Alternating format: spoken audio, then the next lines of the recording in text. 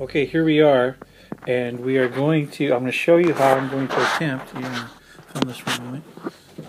Hi there, what I'm doing is I'm creating a uh, series of tubes that are going to make Mr. Dragon here smoke out his nostrils. Ta-da! So what I have is some aquaculture standard airline tubing, a smoke machine, fog solution, a funnel, a cake decorating thing, and a splitter. Which And- you will wash the cake decorating thing and put in my cake kit. I bought done, it. Right? I oh, bought it just for this. Yes. Oh, weird. I had a bunch of them. Yeah. Well, I knew you didn't want me to use them for your Probably stuff. not. So what I'm going to do is find some black tape, and I'm going to tape this funnel onto the smoke machine here, like this. Mm-hmm. Then, uh, then I'm going to put tape this together, and then put the tube going into the pumpkin. Then I'm going to split that tube for both nostrils. Right there. And uh, You're not putting out hopefully, when we push the roll. button, smoke will come out the dragon's nose. So stay tuned and let's see what happens.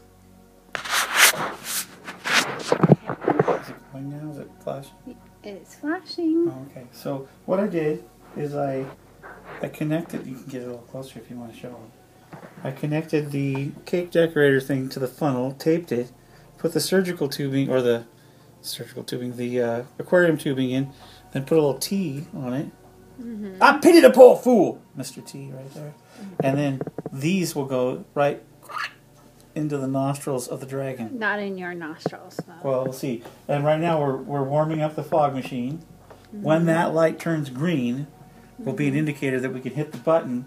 Smoke should go through the funnel, into the tube, and out into this tube. Okay, gonna try to make it go. It's got to turn green. Not ready yet. Got to warm up. So, we'll be back in a moment to see if this works. Okay, here's our experiment. Let's see if it works. It, we know it smokes because we got it to smoke.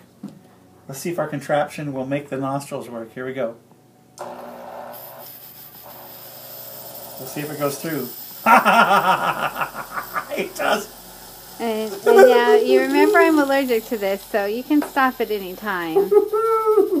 okay, now I'll be cutting a hole in the pumpkin and putting these out through the nostrils. It'll give a spooky effect around it too. Okay, thanks stopping. All right, ladies and gentlemen, if I've done it correctly, here it goes.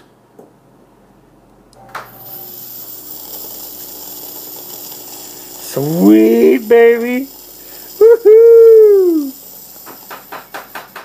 Smaug. Of course, we have a smoke machine has put smoke throughout the house now.